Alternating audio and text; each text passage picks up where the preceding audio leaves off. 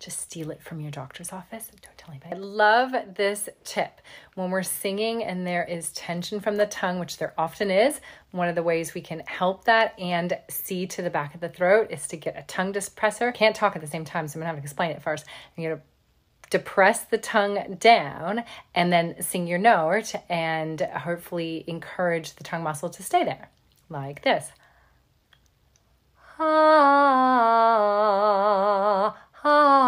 Instead of like ha